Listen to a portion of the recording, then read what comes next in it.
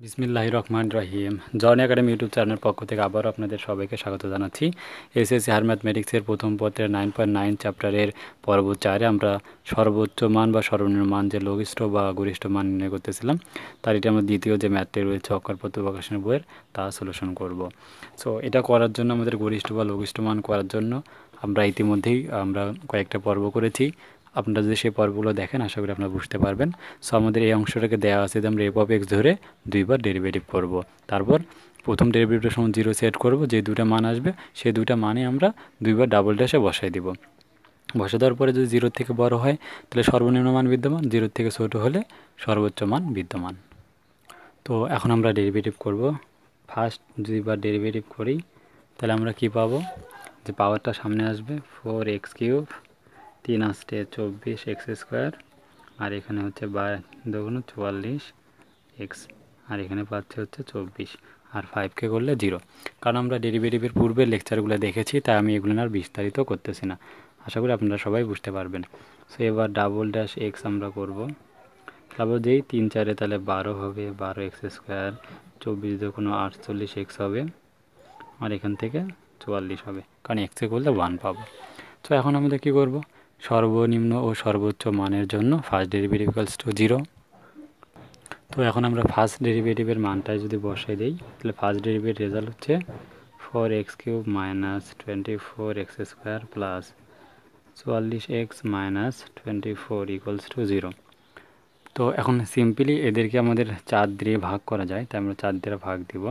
চার দিয়ে ভাগ দিলে পাবো এখানে এক্স কিউব এখানে চার দিয়ে দিলে পাবো হচ্ছে চার ছয় চব্বিশ সিক্স এক্স স্কোয়ার এখানে চার দিয়ে যদি দেই, চার এগারো, চুয়াল্লিশ। দেন এখানে পাবো হচ্ছে চার ছয় চব্বিশ minus six equals to zero then আমাদের একে আমাদের কি করতে হবে? উৎপাদক করার জন্য আমরা যে দুইটা লাইন গ্যাপ দিব গ্যাপ দিয়ে আমরা এর উৎপাদক, একটা উৎপাদক বের করে নিব। X cube minus six x square plus এগারো এক্স মাইনাস সিক্স এক্সের মান কত বসালে এখানে জিরো হয়? আর এর কত কত মানের জন্য জিরো হয় আমরা ক্যালকুলেটর দিয়ে আমরা সরাসরি বের করে নিতে পারি। সো সেটা ক্যালকুলেটর কীভাবে ইনপুট দেবো? শিফটে যাব এক, দুই তিনবার দিব ইকুয়েশনে এক। এবং এখানে কপি বাটন দিয়ে আমরা তিন মাত্রা যেহেতু রয়েছে, তাই এখানে আমরা তিন দিব। দিয়ে এর মান চাবে এর মান আমরা ওয়ান দিব। এরপরে এক্স স্কোয়ারের সহগ হচ্ছে মাইনাস সিক্স এটা বির মান দিব। অর্থাৎ মাইনাস সিক্স এরপর সির মান কত দিব? এগারো দিব। এক্সের সহ। অ্যান্ড ডি হচ্ছে ধ্রুবক পদ মাইনাস সিক্স দিচ্ছে মাইনাস সিক্স দেন এক্স ওয়ানের মান আমাদের দিবে তিন, এক এবং হচ্ছে দুই। অর্থাৎ এখানকার সলিউশন করলে আমরা এক, দুই পাবো। আর আপনার সরাসরি অতএব যে x equals to one two three বসে দিতে পারেন। আমি বসানোর মেথডটা আপনাদের দেখে দিচ্ছি। সো এক্স ইকুয়ালস টু যদি আমরা এখানে ওয়ান পাচ্ছি এক্স ইকুয়ালস টু টু পাচ্ছি এক্স ইকুয়ালস টু থ্রি পাচ্ছি। এই তিনটা মানের জন্য এটা কিন্তু সমাধান করা যাবে। তোমরা যদি প্রথম উৎপাদক চিন্তা করি, তাহলে x minus one equals to zero এটা এর একটা উৎপাদক, এটা একটা উৎপাদক, এটা একটা উৎপাদক, অর্থাৎ তিনটা মানই। তো সেই তিনটা মান আমরা এখানে দেখাবো। প্রথমটাকে লিখলাম হচ্ছে এক্স মাইনাস ওয়ানের একটা উৎপাদক। মিলাতে হবে এক্স কিউব তাহলে এক্স স্কোয়ার দিয়ে গুণ করতে হয়।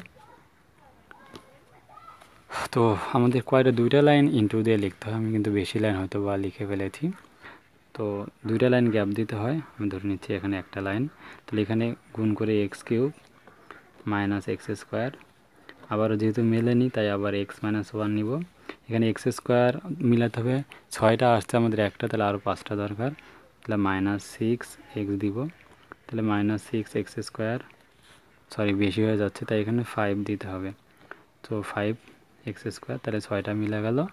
দেন মাইনাস হচ্ছে প্লাস ফাইভ এক্স আবার দিব এক্স মাইনাস ওয়ান আমাদের মিলাতে হবে এগারোটা। আরও দরকার হচ্ছে ছয়টা প্লাস সিক্স তাহলে plus six x minus six equals to zero তো এখানে ইকুয়ালস টু জিরো আমরা বসাই দিতে পারি। দেন এখান থেকে আমরা বলতে পারি x minus one into x square minus five x plus six equals to zero তো এখন আমাদের কি করতে হবে? হয় অথবা করলে আমাদের রেজাল্ট হয়। কিন্তু এখানে আমরা আরও উৎপাদক করা যাচ্ছে, তাই উৎপাদক ওখানেও করব। তাহলে এখানে হচ্ছে এক্স স্কোয়ার মাইনাস ছয়কে ছয় আমাদের ব্যবহৃত, তিন দোকানো ছয় ব্যবহৃত হবে thrice x minus thrice x plus হচ্ছে six equals to zero implies that এখানে এক্স মাইনাস ওয়ান থাকবে, এখান থেকে এক্সকে কমন নিয়ে নিব, এখান থেকে মাইনাস টু কমন নিয়ে নিব, তাহলে ইকুয়ালস টু হচ্ছে কত? জিরো দেন এখানে রেজাল্ট হচ্ছে এক্স মাইনাস ওয়ান এখান থেকে x minus two R x minus three equals to zero অতএব আমরা হয় অথবা করলে কি পাচ্ছি? অতএব x equals to one comma two comma three এখন এই তিনটা মানের জন্য আমাদের বের করে নিতে হবে। এখন আমরা এক্স ইকুয়ালস টু ওয়ানের জন্য বের করব। এক্স ইকুয়ালস টু ওয়ান হলে ফার্স্ট ডেরিভেটিভ বের করব। এফ ড্যাশ ওয়ানের মানটা বের করব। কারণ এর জন্য আমাদের গুরুমান না লঘুষ্ঠ মান বিদ্যমান তা বের করে নিব। So F double dash x মানে ওয়ান বের করব। ডাবল ড্যাশ কত ছিল? বারো। বারো এক্স স্কোয়ার মাইনাস আটচল্লিশ এক্স প্লাস চুয়াল্লিশ। তাই এখানে আমরা মানটা বসাই দিব। তাহলে বারো into one square minus forty eight into one plus হচ্ছে ফোরটি ফোর তাহলে রেজাল্টটা দাঁড়াচ্ছে বারো মাইনাস ফোরটি এইট প্লাস হচ্ছে চুয়াল্লিশ। দেন, এখানে কি বের হচ্ছে কত? পঞ্চাশ পঞ্চাশ থেকে মানে ষাট ষাট থেকে আটচল্লিশ গেলে হচ্ছে আট, হচ্ছে আমাদের এখান থেকে আট। তো আট যদি হয়, আটটা কি জিরোর থেকে বড় না ছোটো? জিরোর বড়। তাই সুতরাং আমরা কি বলতে পারি? যে এক্স ইকুয়ালস টু ওয়ান বিন্দুতে এফ অফ এক্সের সর্বনিম্ন মান বিদ্যমান, কারণ বড় হলে সর্বনিম্ন মান বিদ্যমান হয়। তাহলে সর্বনিম্ন মান যেহেতু বিদ্যমান, তাই আমাদের সর্বনিম্ন মানটা বের করতে হবে। তাই বলব আমরা হচ্ছে সর্বনিম্ন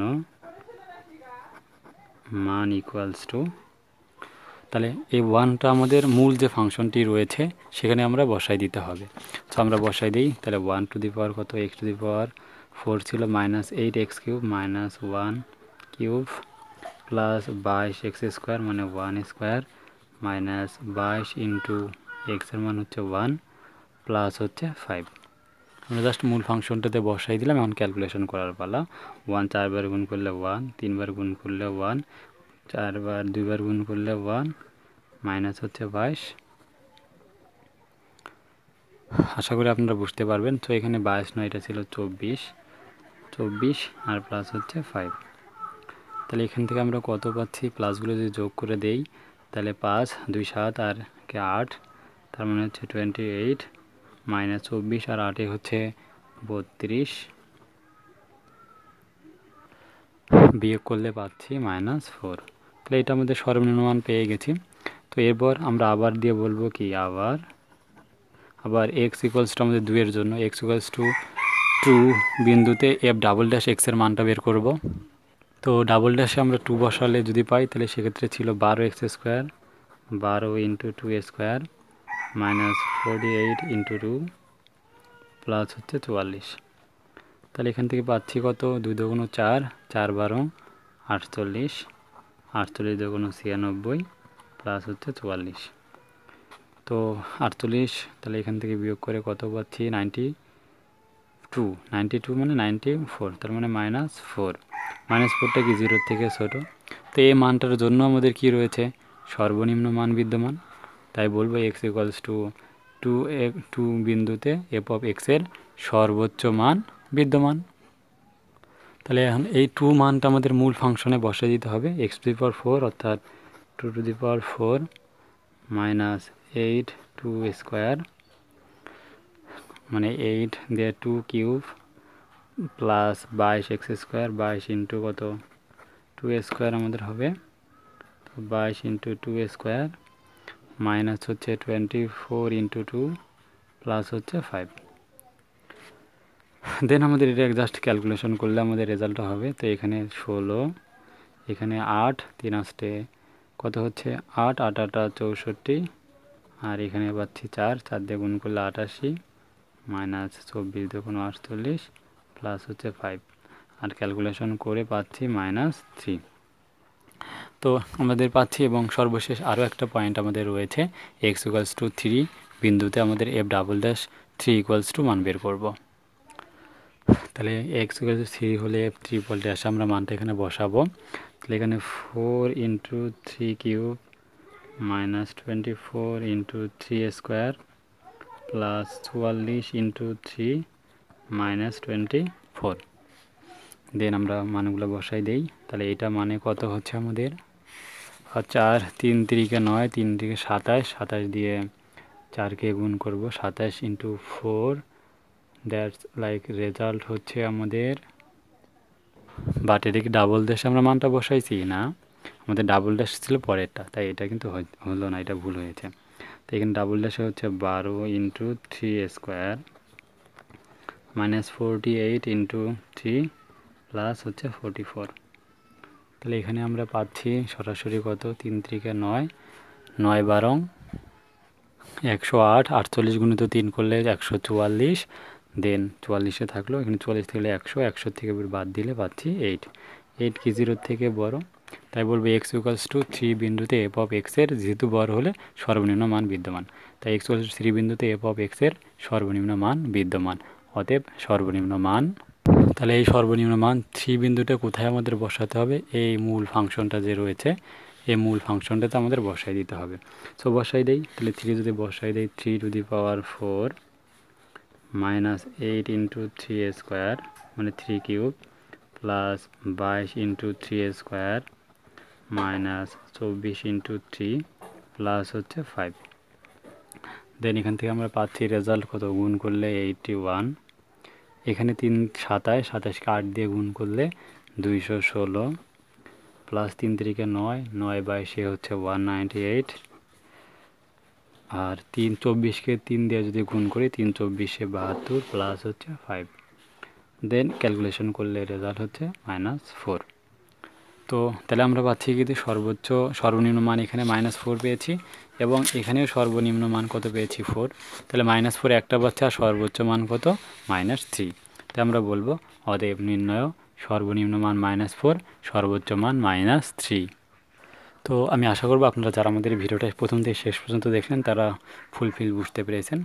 সো এর পরবর্তী আমাদের পাঁচ নম্বর পর্বে যে তৃতীয় যে কোশ্চেনটি রয়েছে x cube minus six x square plus nine x plus five এর সর্বোচ্চ সর্বনিম্ন মান বা লঘিষ্ঠ গরিষ্ঠ মান নির্ণয় করব।